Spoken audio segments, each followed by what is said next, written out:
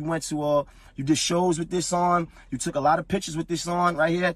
Um, anybody that's watching this can find can find out that you can you can easily find pictures of this same the same chain um, around your neck, right? Um, the thing, the, the, significant thing about this chain, because I don't want people to think, oh man, oh grimy, he had his chain. This is the chain that, that Troy Ave was wearing when he was uh, you know, got into his his, his scuffle at uh at Irving Plaza. Um, and the reason why I held this chain is because, not because I didn't want to give it back, because I just felt like, you know, maybe, maybe, maybe one day I would have to like step on him a little bit and, and remind him who he really is, right? Um, the reason why I held this chain is not because I didn't want to give it back, but, but the chain's fake. This is fake. This is a fake chain. This is this chain that you wore every single day. This chain is fake. You wore this chain every fucking day. And I know y'all gonna say, oh, that's not his chain. He gonna say that's not his chain. But guess what? You, they gonna say we photoshopped it.